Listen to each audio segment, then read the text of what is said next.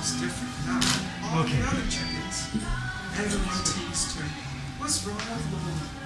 The other whispered, does she think she's better than all of us? They laughed at her. Okay.